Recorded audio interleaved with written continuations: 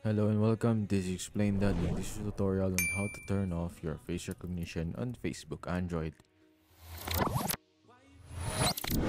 So let's get started, but there's a couple of issues for this one.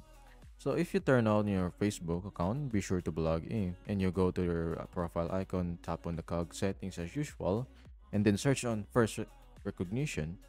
It will prompt you to nothing.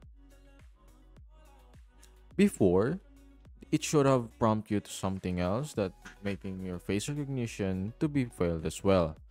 But since Facebook already removed this feature for about a couple of months already, Facebook face recognition is already ceased to be exist and therefore you cannot maintain or any other function that is similar to that one will be removed as well. So that's about it and this is a guide on how to turn off your face recognition on Facebook on Android. If you found this video helpful, be sure to hit that like button, subscribe to our channel, and share it with your friends by notifying that bell as well. As always, stay tuned for more tech tutorials on Explain Dad.